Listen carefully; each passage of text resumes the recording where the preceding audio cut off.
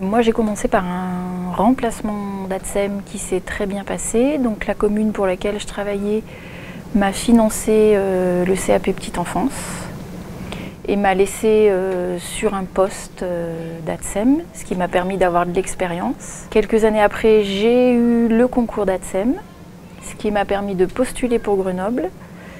Et maintenant, bah, j'ai le titre d'ADSEM et je suis titulaire dans la fonction publique territoriale. Et bah, être ADSEM, euh, c'est savoir communiquer, c'est savoir être patiente, euh, c'est comprendre ce que c'est que de la bienveillance, comprendre ce que c'est qu'un enfant, savoir travailler en équipe, savoir tenir une journée longue et active euh, de travail, c'est tout ça. Il faut savoir aussi s'adapter parce que souvent les journées ne se passent pas comme on avait prévu à la base. Pour peu qu'il manque quelqu'un dans l'équipe, il va falloir peut-être modifier un peu un emploi du temps ou euh, peut-être aller travailler dans une autre classe, aller donner un coup de main alors qu'au début c'était pas prévu. il faut savoir être euh, réactif à ce genre de situation. Et c'est savoir aussi se préserver.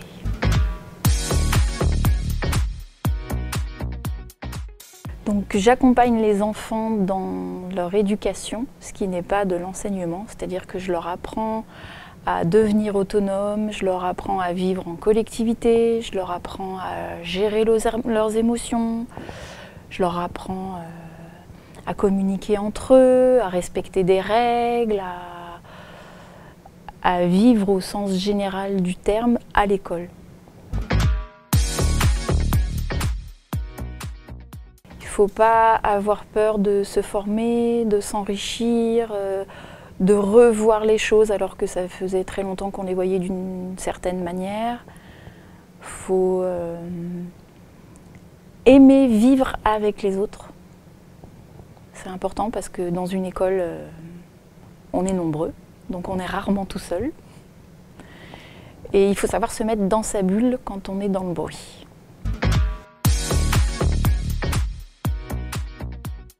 C'est loin d'être monotone parce que ben il y a oui les activités qu'on fait en classe, euh, il y a les sorties euh, extrascolaires, il y a les formations, il y a le travail en équipe qui des fois se passe bien, des fois se passe pas bien. Il faut quand même euh, faire face à ça. Il faut savoir prendre du recul, se préserver. Mais tout ça c'est enrichissant.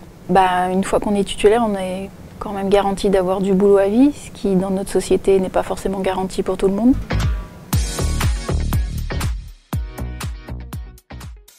Alors le travail en équipe, il s'effectue avec euh, tous les acteurs de l'école. Donc euh, c'est-à-dire euh, les enseignants, les collègues ADSEM, la directrice, les DIRALP, les agents d'entretien, les animateurs.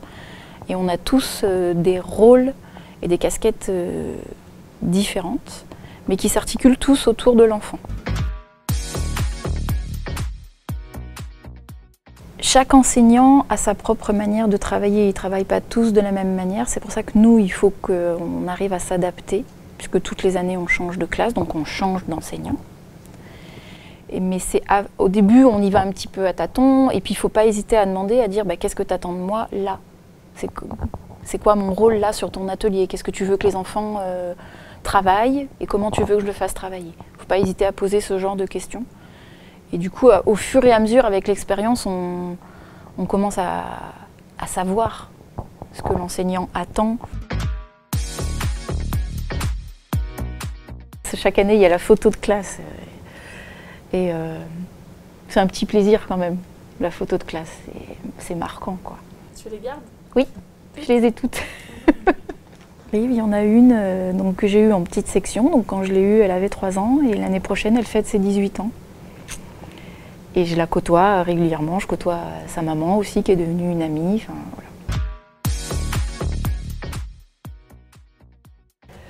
Euh, ce que j'aime dans ce métier, c'est qu'on ne s'ennuie pas en fait. Chaque jour euh, ne se ressemble pas, les journées passent à une allure euh, folle. C'est un métier enrichissant du point de vue de l'humain. On apprend énormément de choses sur les enfants, sur nous, sur ce que c'est que de vivre avec les autres, sur on voit les enfants grandir, c'est-à-dire qu'ils arrivent en septembre, il y en a, ils sont tout petits petits, ils repartent en juin, ils ont grandi, ils sont, sont devenus propres, euh, ils disent bonjour, ils sourient, ils ont pris du plaisir toute l'année, ils partent, ils sont voilà,